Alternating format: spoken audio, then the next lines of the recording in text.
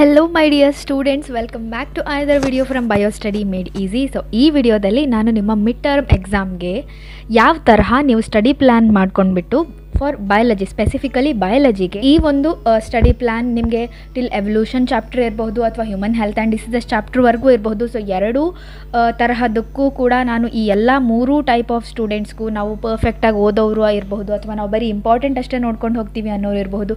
ಎಲ್ಲ ತರಹದ ಸ್ಟೂಡೆಂಟ್ಸ್ಗೂ ಕೂಡ ನಾನು ನಿಮಗೆ ಸ್ಟಡಿ ಪ್ಲ್ಯಾನನ್ನು ಹೇಳ್ತಾ ಹೋಗ್ತೀನಿ. ಸೊ ಲೆಟ್ ಸೊ ವೆಲ್ ನಿಮಗೆ ಟೋಟಲ್ ಒನ್ ಫಿಫ್ಟೀನ್ ಮಾರ್ಕ್ಸ್ನದ್ದು ಕ್ವಶನ್ ಪೇಪರ್ ತೆಗಿತಾರೆ. ಅದರಲ್ಲಿ ನೀವು ಸೆವೆಂಟಿ ಮಾರ್ಕ್ಸ್ಗೆ ಬರಿಬೇಕು okay so you have to score seventy out of seventy ಅನ್ನುವಂಥ ಸ್ಟೂಡೆಂಟ್ಸ್ ಆಗಿರಲಿ, ಅಥವಾ ನಾನು ಹೇಳಿದ್ನಲ್ಲ sixty five sixty okay so ನಿಮಗೆ ಮಾರ್ಕ್ಸ್ನ ವೇಟೇಜ್ ಹೇಳಿಬಿಡ್ತೀನಿ ಸೊ ನಿಮಗೆ ಗೊತ್ತಾಗ್ಬಿಡುತ್ತೆ, ಆಯಿತಾ? ಸೊ ಒನ್ ಫಿಫ್ಟೀನ್ ಮಾರ್ಕ್ಸಿಗೆ ಆಗಿರೋದ್ರಿಂದ ಇದು ಹೇಗೆ ನಿಮಗೆ ವೇರಿ ಆಗುತ್ತೆ ಅಂತಂದರೆ, ನೋಡಿ ಫಾರ್ ಎಕ್ಸಾಂಪಲ್ ಇವಾಗ ಹ್ಯೂಮನ್ ಹೆಲ್ತ್ ಆ್ಯಂಡ್ ಡಿಸೀಸಸ್ವರೆಗೂ ನಿಮಗೆ ಸಿಲೆಬಸ್ ಇರ್ಬೋದು, ಅಥವಾ ಎವಲ್ಯೂಷನ್ವರೆಗೂ ಇದೆ ಅಂದ್ಕೊಳ್ಳೋಣ ಓಕೆ ಸೊ ಫಸ್ಟ್ ಎವಲ್ಯೂಷನ್ವರೆಗೂ ಸಿಲೆಬಸ್ ಇರೋರಿಗೆ ಹೇಳ್ಬಿಡ್ತೀನಿ ನೋಡಿ. ಸೊ ಎವಲ್ಯೂಷನ್ವರೆಗೂ ಸಿಲೆಬಸ್ ಇರೋರಿಗೆ ಲೆವೆನ್ ಮಾರ್ಕ್ಸ್ ಇದ್ದಿದ್ದು ಎಕ್ಸಾಕ್ಟಾಗಿ ಡಬಲ್ ಆಗೋದಿಲ್ಲ ಟ್ವೆಂಟಿ ಟೂ ಆಗೋದಿಲ್ಲ ಓಕೆ ಸೊ ಎಷ್ಟು? ಅರೌಂಡ್ ಟ್ವೆಂಟಿ ಆಗಬಹುದು ಓಕೆ ಸೊ ಟ್ವೆಂಟಿ ಮಾರ್ಕ್ಸ್ ಅಷ್ಟು sexual reproduction flowering plants twenty marks human ರಿಪ್ರೊಡಕ್ಷನಿಗೆ ಸಿಗಬಹುದು.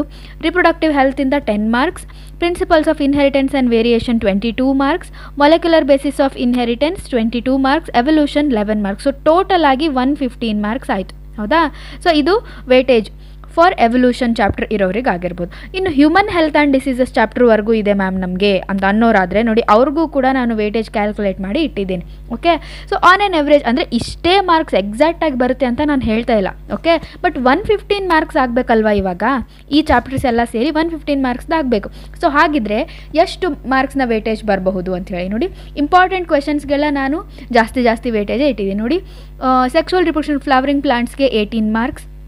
ಹ್ಯೂಮನ್ ರಿಪ್ರೊಡಕ್ಷನ್ಗೆ ಏಯ್ಟೀನ್ ಮಾರ್ಕ್ಸ್ ರಿಪ್ರೊಡಕ್ಟಿವ್ ಹೆಲ್ತಿಂದ ಒಂದು ಟೆನ್ ಮಾರ್ಕ್ಸ್ ಬರಬಹುದು. ಪ್ರಿನ್ಸಿಪಲ್ಸ್ ಆಫ್ ಇನ್ಹೆರಿಟೆನ್ಸಿಂದ ಒಂದು ಟ್ವೆಂಟಿ ಮಾರ್ಕ್ಸ್ ಮೊಲೆಕ್ಯುಲರ್ ಬೇಸಿಸಿಂದ ಒಂದು ಟ್ವೆಂಟಿ ಮಾರ್ಕ್ಸ್ ಎವಲ್ಯೂಷನಿಂದ ಟೆನ್ ಹ್ಯೂಮನ್ ಹೆಲ್ತ್ ಆ್ಯಂಡ್ ಡಿಸೀಸಸ್ಸಿಂದ ಸೊ ಒಂದು ನೈನ್ಟೀನ್ ಮಾರ್ಕ್ಸ್ ಅಷ್ಟು ನಿಮಗೆ ಏನು ದಟ್ ಈಸ್ ಥರ್ಟೀನ್ ಮಾರ್ಕ್ಸ್ ಇದೆ ಅಲ್ವಾ ಒರಿಜಿನಲ್ ಆಗಿ. ಸೊ ಅದರಿಂದ ನೈನ್ಟೀನ್ ಮಾರ್ಕ್ಸ್ ಅಷ್ಟು ಮಿಡ್ ಟರ್ಮಿಗೆ ಬರ್ಬೋದು ಸೊ ಎಲ್ಲ ಸೇರಿಸಿದ್ರೆ ಟೋಟಲ್ ಆಗಿ ಒನ್ ಫಿಫ್ಟೀನ್ ಮಾರ್ಕ್ಸ್ ಆಯಿತು. ಓಕೆ ಸೊ ಇದಿಷ್ಟು ಏನಂತಂದರೆ ಒನ್ ಫಿಫ್ಟೀನ್ ಮಾರ್ಕ್ಸ್ನದ್ದು ಸೊ ಹಾಗಿದ್ರೆ ವೇಟೇಜ್ ಕ್ಯಾಲ್ಕುಲೇಟ್ ಮಾಡಿದ್ವಿ. ಇವಾಗ ನಾವು ಫಸ್ಟ್ ನಾವು ಸಿಕ್ಸ್ಟಿ ಮಾರ್ಕ್ಸನ್ನು ತಗೊಳ್ಬೇಕು. ಓಕೆ ಸೊ ಅಥವಾ ಆನ್ ಆ್ಯನ್ ಎವರೇಜ್ ನಮಗೆ ಸಿಕ್ಸ್ಟಿ ಔಟ್ ಆಫ್ ಸೆವೆಂಟಿ ಬಂದರೆ ಸಾಕು. ಅಥವಾ ಸಿಕ್ಸ್ಟಿ ಪ್ಲಸ್ ನಾವು ಸ್ಕೋರ್ ಮಾಡಬೇಕು ಅನ್ನೋರಿಗೆ ನೋಡಿ. ಸೊ ಟ್ವೆಂಟಿ ಮಾರ್ಕ್ಸಿನ ಇಂದ ನಿಮಗೆ ಕ್ವಶನ್ ಪೇಪರಲ್ಲಿ ಬಂದಿದ್ದರೆ ನೀವು ಅದಕ್ಕೆ ಎಷ್ಟು ಆನ್ಸರ್ ಮಾಡಬಹುದು? ಅಟ್ಲೀಸ್ಟ್ ಫಿಫ್ಟೀನ್ ಮಾರ್ಕ್ಸ್ ಅಷ್ಟು ನೀವು ಆನ್ಸರ್ ಮಾಡಬಹುದಾ?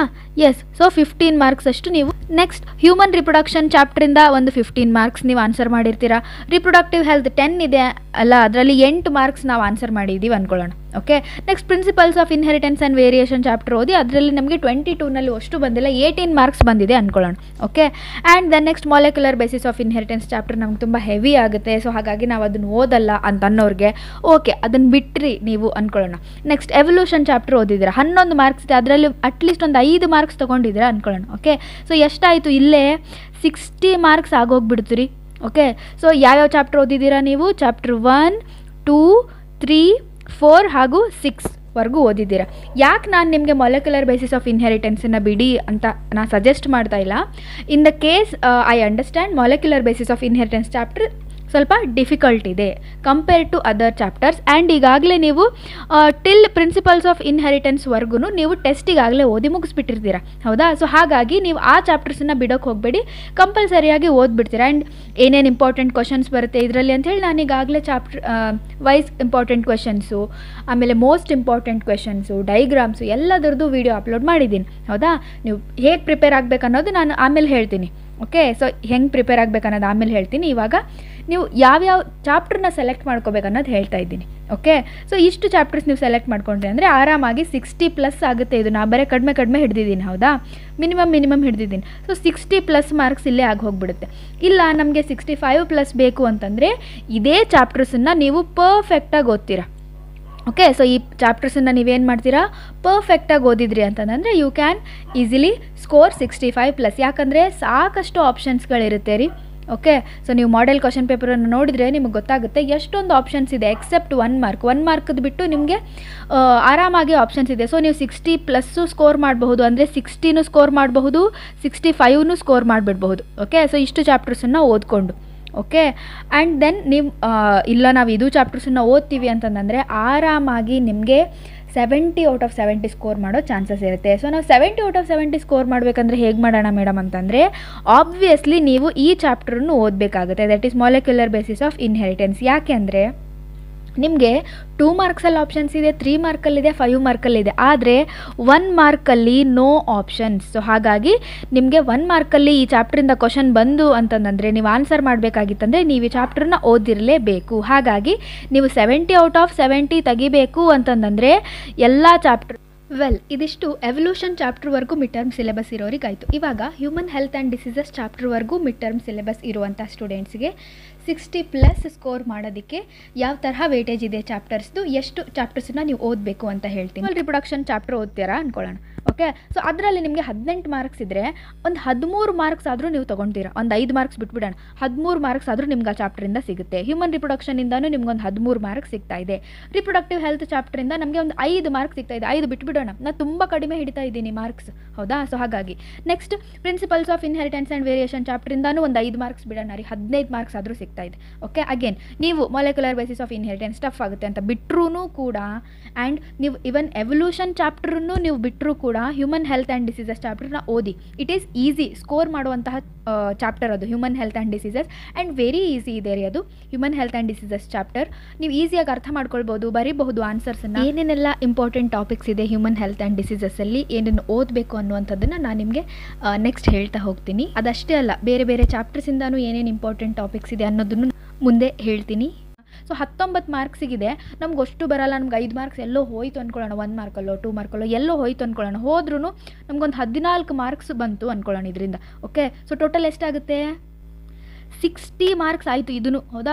ಟೋಟಲ್ ಸಿಕ್ಸ್ಟಿ ಮಾರ್ಕ್ಸ್ ಅಂದರೆ ನಾನು ತುಂಬ ಕಡಿಮೆ ಹಿಡ್ದಿದ್ದೀನಿ. ಪ್ರಾಕ್ಟಿಕಲ್ಲಾಗಿ ಯೋಚನೆ ಮಾಡ್ತಾ ಇದ್ದೀನಿ. ಕಡಿಮೆ ಹಿಡಿದಿದ್ದೀನಿ. ಯಾಕಂತಂದರೆ ನಮಗೆ ನಾನು ಈ ಚಾಪ್ಟರ್ನ ಓದ್ಕೊಂಡು ಹೋಗಿದ್ದೀನಿ ಅಂದರೆ ಅದರಲ್ಲಿರೋ ಎಲ್ಲ ಕ್ವಶನ್ಸು ನಾನು ಅಟೆಂಪ್ಟ್ ಮಾಡ್ತೀನಿ. ಅಥವಾ ನಾನು ಅಟೆಂಪ್ಟ್ ಮಾಡಿದ ಅಷ್ಟು ಕ್ವಶನ್ಸ್ಗೂ ನಂಗೆ ಫುಲ್ ಮಾರ್ಕ್ಸ್ ಸಿಗುತ್ತೆ ಅಂತಲೂ ಹೇಳಲಿಕ್ಕಾಗಲ್ಲ. ಹೌದಾ? ಹಾರ್ಟ್ಸ್ ಕ್ವಶನ್ಸ್ ಎಲ್ಲ ಇನ್ಕ್ಲೂಡ್ ಆಗಿರುತ್ತೆ. ಓಕೆ ಸೊ ಹಾಗಾಗಿ ನಾನು ಕಡಿಮೆ ಕಡಿಮೆ ಹಿಡಿದಿದ್ದೀನಿ. ಕಡಿಮೆ ಹಿಡಿದ್ರೂ ಸಿಕ್ಸ್ಟಿ ಸ್ಕೋರ್ ಆಗ್ತಿದೆ ಅಂತಂದರೆ ಸಿಕ್ಸ್ಟಿ ಪ್ಲಸ್ ಅಂತೂ ಆರಾಮಾಗಿ ಸ್ಕೋರ್ ಆಗುತ್ತೆ. ಹೌದಾ? ಪರ್ಫೆಕ್ಟಾಗಿ ನೀವು ಈ ಚಾಪ್ಟರ್ಸ್ಗಳನ್ನೆಲ್ಲ ಓದಿದ್ರಿ ಅಂದ್ಕೊಳ್ಳೋಣ okay so that is sexual reproduction flowering plants human reproduction reproductive health principles of inheritance ಮತ್ತು ಹ್ಯೂಮನ್ ಹೆಲ್ತ್ ಆ್ಯಂಡ್ ಡಿಸೀಸಸ್ ಇಷ್ಟು ಚಾಪ್ಟರ್ಸನ್ನು ಓದಿನೇ ನಿಮಗೆ ಆರಾಮಾಗಿ ಸಿಕ್ಸ್ಟಿ ಪ್ಲಸ್ಸು ಅಥವಾ sixty plus and sixty five ನಿಮಗೆ ಇಲ್ಲೇ ಸ್ಕೋರ್ ಆಗಿಬಿಡ್ತಾ ಇದೆ. ಇಷ್ಟು ಚಾಪ್ಟರ್ಸನ್ನು ಓದಿದ್ರಿ ಅಂತಂದರೆ, ಹೌದಾ? ನೋಟ್ ಮಾಡ್ಕೊಳ್ಳಿ ಓಕೆ ನೋಟ್ ಮಾಡ್ಕೊಳ್ಳಿ. ಇಲ್ಲ, ನಮಗೆ ಸೆವೆಂಟಿ ಔಟ್ ಆಫ್ ಸೆವೆಂಟಿ ಬರಬೇಕು ಅಂತಂದರೆ obviously you have to read all the chapters because ನಾನು ಆಗಲೇ ಹೇಳಿದಾಗೆ ಒನ್ ಮಾರ್ಕ್ನ ಕ್ವಶನ್ಸು ನಮ್ಮ ಕೈಯಲ್ಲಿರಲ್ಲ. ಆದರೆ ನೀವು ಸಿಕ್ಸ್ಟಿ ಫೈವ್ ಪ್ಲಸ್ ಸ್ಕೋರ್ ಮಾಡಬಹುದು. ಯಾವುದಾದ್ರೂ ಒಂದು ಚಾಪ್ಟರ್ನ ಚೂಸ್ ಮಾಡಿಕೊಂಡು, ಯಾವುದಾದ್ರೂ ಒಂದು ಚೂಸ್ ಮಾಡಿದರೂ ನಿಮಗೆ either evolution or molecular basis ಯಾವುದಾದ್ರೂ ಒಂದು ಚೂಸ್ ಮಾಡಿದರೂ ನಿಮಗೆ ಆರಾಮಾಗಿ ಸಿಕ್ಸ್ಟಿ ಫೈವ್ ಪ್ಲಸ್ ಸ್ಕೋರ್ ಆಗುತ್ತೆ. ಸೊ ಡೋಂಟ್ ವರಿ ಆ್ಯಂಡ್ ಹೇಗೆ ಓದಬೇಕು ಇವಾಗ ಅಂತಂದರೆ ಮೊದಲಿಗೆ. So how to study for this ಇವಾಗೆಲ್ಲ ನೋಡ್ಕೊಂಡ್ರಲ್ವಾ? ಸೊ ನಿಮಗೆ ನಾನು ಸಜೆಸ್ಟ್ ಮಾಡೋದೇನು ಅಂದರೆ ಪ್ರಿನ್ಸಿಪಲ್ಸ್ ಆಫ್ ಇನ್ಹೆರಿಟೆನ್ಸ್ ಆ್ಯಂಡ್ ವೇರಿಯೇಷನ್ವರೆಗೂ ನಿಮ್ಮ ಟೆಸ್ಟಿಗೆ ಇರೋದ್ರಿಂದ ಅದನ್ನು ಮೊದಲು ಓದಿರ್ತೀರ? ಹಾಗಾಗಿ ಆ ಚಾಪ್ಟರ್ಸನ್ನು ಬಿಡಬೇಡಿ. ಅದನ್ನು ಇನ್ನೊಂದು ಸರ್ತಿ ಓದ್ಕೊಳ್ಳಿ. ನೀವು ಏನೇ ಚಾಪ್ಟರ್ಸ್ ಬಿಡೋದಿದ್ರೂ ಮಿಡ್ ಟರ್ಮ್ ಎಕ್ಸಾಮಿಗೆ ಸ್ಕಿಪ್ ಮಾಡೋದಿತ್ತು ಅಂತಂದರೆ ಈ ನೆಕ್ಸ್ಟ್ ಚಾಪ್ಟರ್ಸ್ ಆಫ್ಟರ್ ಟೆಸ್ಟ್ ಇರುವಂತಹ ಚಾಪ್ಟರ್ಸನ್ನು ಮಾತ್ರ ನೀವು ಸ್ಕಿಪ್ ಮಾಡಿ. ಓಕೆ ಆ್ಯಂಡ್ ಅದರಲ್ಲೂ ನಿಮಗೆ ಇಂಪಾರ್ಟೆಂಟ್ ಕ್ವಶನ್ಸ್ ನೋಡಿ ಸೆಕ್ಷುವಲ್ ರಿಪ್ರೊಡಕ್ಷನಲ್ಲಿ ಫ್ಲವರಿಂಗ್ ಪ್ಲಾಂಟ್ಸಲ್ಲಿ ನೋಡಿ ನಮಗೆ ಒಂದು ಡೈಗ್ರಾಮ್ ಬಂದೇ ಬರುತ್ತೆ ರೀ. ಸೊ ಫೈವ್ ಮಾರ್ಕ್ಸ್ ಬಂತು. ಹ್ಯೂಮನ್ ರಿಪ್ರೊಡಕ್ಷನ್ನಿಂದನೂ ಒಂದು ಡೈಗ್ರಾಮ್ ಬಂದೇ ಬರುತ್ತೆ. ಪ್ರಿನ್ಸಿಪಲ್ಸ್ ಆಫ್ ಇನ್ಹೆರಿಟೆನ್ಸ್ ಆ್ಯಂಡ್ ವೇರಿಯೇಷನ್ನಲ್ಲಿ ನಿಮಗೆ ಒಂದು ಕ್ರಾಸ್ ಕೇಳೇ ಕೇಳ್ತಾರೆ. ಹೌದಾ? ಸೊ ಹಾಗಾಗಿ ಫಿಫ್ಟೀನ್ ಮಾರ್ಕ್ಸು ನಿಮ್ಗೆ ಅಲ್ಲೇ ಸಿಗ್ತಾ ಇದೆ. ರೈಟ್ ಸೊ ಆ ಚಾಪ್ಟರ್ಸ್ ಓದಿದರೆ ಫಿಫ್ಟೀನ್ ಮಾರ್ಕ್ಸ್ ಅಲ್ಲೇ ಸಿಕ್ಬಿಡುತ್ತೆ ನಿಮಗೆ.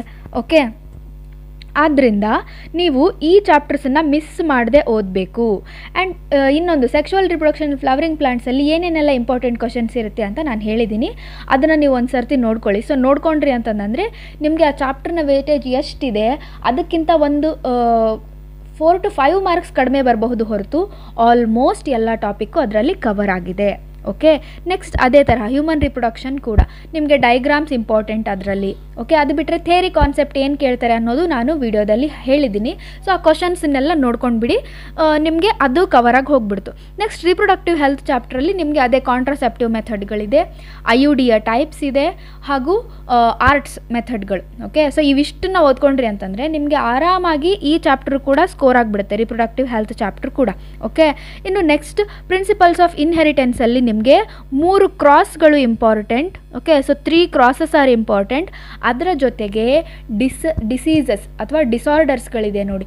Down syndrome Klinefelter Turner syndrome ಇದು ಜನ ಕ್ರೋಮೋಸೋಮಲ್ ಡಿಸಾರ್ಡರ್ಸ್ ಆಯಿತು. ನೆಕ್ಸ್ಟ್ ಈ ಕಡೆ ಮೆಂಡಲಿಯನ್ ಡಿಸಾರ್ಡರ್ಸ್ ಇದೆ. Haemophilia sickle cell anaemia thalassemia and then ಯಾವುದು? ಫಿನೈಲ್ ಕೀಟೋನ್ಯೂರಿಯಾ ಓಕೆ ಸೊ ಅವು ಹೌದಾ? ಸೊ ಇವೆಲ್ಲ ಏನು ಅಂತಂದರೆ ನಿಮಗೆ ಫೈವ್ ಮಾರ್ಕ್ಸಲ್ಲಿ ತ್ರೀ ಮಾರ್ಕ್ಸಲ್ಲಿ ಕೇಳೋ ಇಂಪಾರ್ಟೆಂಟ್ ಕ್ವಶನ್ಸ್ ಇನ್ನು ಟೂ ಮಾರ್ಕ್ಸಿನ ಇಂಪಾರ್ಟೆಂಟ್ ಕ್ವಶನ್ ಪ್ರಿನ್ಸಿಪಲ್ಸ್ ಆಫ್ ಇನ್ಹೆರಿಟೆನ್ಸಲ್ಲಿ ಪ್ಲಿಯೋಟ್ರಾಪಿ ಅಂತ ಇದೆ ಪಾಲಿಜೆನಿಕ್ ಇನ್ಹೆರಿಟೆನ್ಸ್ ಇದೆ codominance multiple alleles linkage recombination ಇವೆಲ್ಲ ಏನು ಅಂತಂದರೆ ಟೂ ಮಾರ್ಕ್ಸಲ್ಲಿ ಕೇಳುವಂಥ ಕ್ವಶನ್ಸ್ ಅಥವಾ ಒನ್ ಮಾರ್ಕಲ್ಲಿ ಕೇಳೋ ಕ್ವಶನ್ಸ್ ನೋಡಿ, ತುಂಬ ಈಸಿ ಇದೆ, ಹೌದಾ? Principles of inheritance and variation chapter ಕೂಡ. ಹಾಗಾಗಿ ನಾನು ನಿಮಗೆ ಈ ಚಾಪ್ಟರ್ಸನ್ನು ಬಿಡಬೇಡಿ ಅಂತ ಹೇಳಿದ್ದು. ಯಾವುದು? ಈ ನಾಲ್ಕು ಚಾಪ್ಟರ್ಸನ್ನು ಫಸ್ಟ್ ಫೋರ್ ಚಾಪ್ಟರ್ಸ್ ಸ್ಕಿಪ್ ಮಾಡಲೇಬೇಡಿ ನೀವು ಆಗಲೇ ಓದಿದ್ದೀರಾ ಇನ್ನೊಂದು ಸರ್ತಿ ಓದ್ಕೊಳ್ಳಿ ಹೌದಾ? ನೆಕ್ಸ್ಟ್ ಹಾಗಿದ್ರೆ ಮಾಲೆಕ್ಯುಲರ್ ಬೇಸಿಸ್ ಆಫ್ ಇನ್ಹೆರಿಟೆನ್ಸ್ ಓದೋದಾದರೆ ಅದರದ್ದು ನಾನು ಇಂಪಾರ್ಟೆಂಟ್ ಕ್ವಶನ್ಸ್ ನಿಮ್ಗೆ ಅಪ್ಲೋಡ್ ಮಾಡಿದ್ದೀನಿ. ನೀವು ನೋಡ್ಕೊಳ್ಬಹುದು. ಅದನ್ನು ನೀವು ಒಂದು ಸರ್ತಿ ನಾವು ಇಲ್ಲ, ನಾವು safer ಸೈಡ್ನ seventy out of seventy score ಮಾಡಬೇಕು ಅಂದ್ಕೊಂಡಿದ್ದೀವಿ ಆದರೆ ನಮಗೆ N C R T text book ಓದೋಕ್ಕಾಗಲ್ಲ ಅಂತಂದರೆ ನೀವು ಅದರಲ್ಲಿ ನಾನು ಒನ್ ಮಾರ್ಕ್ ಕ್ವಶನ್ಸನ್ನು ಹೇಳಿದ್ದೀನಿ. ಚಾಪ್ಟರ್ ವೈಸ್ ಇಂಪಾರ್ಟೆಂಟ್ ಕ್ವಶನ್ಸಲ್ಲಿ ಸೊ ಅದನ್ನು ನೋಡಿಕೊಂಡು ಕೂಡ ನೀವು ಸೆವೆಂಟಿ ಔಟ್ ಆಫ್ ಸೆವೆಂಟಿ ತೆಗಿಬಹುದು. ಸೊ ಅದರ ಮುಖಾಂತರ ಮಾಲಿಕ್ಯುಲರ್ ಬೇಸಿಸ್ ಆಫ್ ಇನ್ಹೆರಿಟೆನ್ಸ್ ನೋಡ್ಕೊಳ್ಳಿ. Next evolution chapter so evolution ಚಾಪ್ಟರ್ದು ನಾನು ಇಂಪಾರ್ಟೆಂಟ್ ಕ್ವಶನ್ಸ್ ಹಾಕಿದ್ದೀನಿ. ಅದನ್ನು ನೋಡಿಕೊಂಡು ಕೂಡ ನಿಮಗೆ ಆ ಚಾಪ್ಟರ್ನು ನೀವು ಕವರ್ ಮಾಡ್ಕೋಬಹುದು. ಇನ್ನು ಹ್ಯೂಮನ್ ಹೆಲ್ತ್ ಆ್ಯಂಡ್ ಡಿಸೀಸಸಲ್ಲಿ ಏನೇನು ಓದಬೇಕು ಅಂತಂದರೆ ನೋಡಿ ಡಿಸೀಸಸ್ಗಳು ಅದರ ಪಾಸಿಟಿವ್ ಆರ್ಗ್ಯಾನಿಸಮ್ಮು ಸಿಮ್ಟಮನ್ನು ನೋಡ್ಕೊಳ್ಳಿ.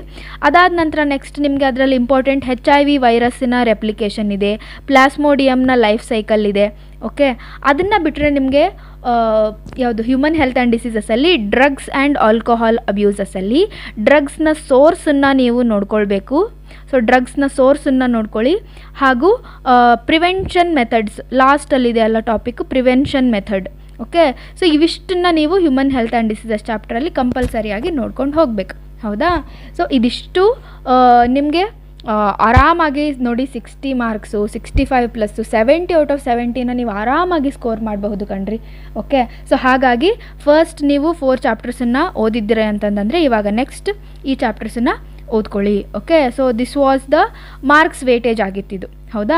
ಇನ್ನು ನೆಕ್ಸ್ಟ್ ಎಡಿಷ್ನಲ್ ಟಿಪ್ಸ್ನ ನಿಮಗೆ ಹೇಳೋದು. ಸ್ಟಡಿ ಪ್ಲ್ಯಾನಲ್ಲಿ ನೀವು ಇನ್ಕ್ಲೂಡ್ ಮಾಡ್ಕೊಳ್ಬೇಕಾದಂಥ ಎಡಿಷ್ನಲ್ ಟಿಪ್ಸ್ ಸೊ ಯಾವುದರಿಂದ, ಎಲ್ಲಿಂದ ಶುರು ಮಾಡಬೇಕು ನಾವು ಇವಾಗ ಓದೋಕೆ ಅಂತಂದರೆ ಫಸ್ಟ್ ನೀವು ಈಗಾಗಲೇ ಟೆಸ್ಟ್ಗೆ ಇಲ್ಲಿವರೆಗೂ ಮುಗಿಸಿದ್ದೀರಾ, ಹೌದಾ? ಪ್ರಿನ್ಸಿಪಲ್ಸ್ ಆಫ್ ಇನ್ಹೆರಿಟೆನ್ಸ್ವರೆಗೂ ಮುಗಿಸಿದ್ದೀರಾ, ಕೆಲವೊಂದರಲ್ಲಿ ಮೊಲೆಕ್ಯುಲರ್ ಬೇಸಿಸ್ವರೆಗೂ ಮುಗಿಸಿದ್ದೀರಾ, ಕೆಲವೊಂದು ಕಾಲೇಜಸ್ಸಲ್ಲಿ ಸೊ ಅವನ್ನ ಬಿಟ್ಟು ನೀವು ನೆಕ್ಸ್ಟ್ ನೀವು ಯಾವುದು ಓದ್ಬೇಕು ಅಂದ್ಕೊಂಡಿದ್ದೀರಲ್ವ ಸೆಲೆಕ್ಟ್ ಮಾಡ್ಕೊಳ್ತೀರಲ್ವ ನೀವು ಇಷ್ಟರಲ್ಲಿ? ಸೊ ಇದರಲ್ಲಿ ಸೆಲೆಕ್ಟ್ ಮಾಡ್ಕೊಂಡಿದ್ದೊಂದನ್ನು ಫಸ್ಟ್ ಮುಗಿಸಿ ನೆಕ್ಸ್ಟ್ ಅದ್ರ ಜೊತೆಗೆ ಇನ್ನೊಂದು ಚಾಪ್ಟರ್ನ ಮುಗಿಸ್ಕೊಳ್ಳಿ. ಓಕೆ ಸೊ ಮುಗಿಸ್ಕೊಂಡ್ರೆ ನೀವು ಆರಾಮಾಗಿ ಸಿಕ್ಸ್ಟಿ ಫೈವ್ ಪ್ಲಸ್ ಸ್ಕೋರ್ ಮಾಡಬಹುದು. ರೈಟ್ ಆ್ಯಂಡ್ ಅದನ್ನು ಎಕ್ಸಾಮ್ ಹಿಂದಿನ ದಿನ ಎಲ್ಲ ಚಾಪ್ಟರ್ಸನ್ನು ರಿವೈಸ್ ಮಾಡ್ಕೊಳ್ಳಿ. ಡೈಗ್ರಾಮ್ಸನ್ನು ಮುಂಚೆನೇ ಪ್ರಾಕ್ಟೀಸ್ ಮಾಡಿ ಲೇಬ್ಲಿಂಗ್ಸನ್ನು ಕರೆಕ್ಟಾಗಿ ನೋಡ್ಕೊಳ್ಳಿ. Okay so this was all about the study plan or you can call it as study strategy for biology mid term exam ಆಗಿತ್ತು. Happy learning my dear students ಇದೇ ತರಹ ನಿಮಗೆ ಆಲ್ ಪಿ ಸಿ ಎಂ ಬಿದು ಏನಾದರೂ study strategy study plan ಯಾವ್ಯಾವ ಚಾಪ್ಟರ್ಸನ್ನು select ಮಾಡಬೇಕು, ಬಿಡಬೇಕು ಅಂತ ಏನಾದರೂ ನಿಮಗೆ ಅದರ ವಿಡಿಯೋ ಬೇಕಾಗಿತ್ತು ಅಂತಂದರೆ just comment below I'll try to prepare a study plan and let you know thank you happy learning and all the very best for your exams dear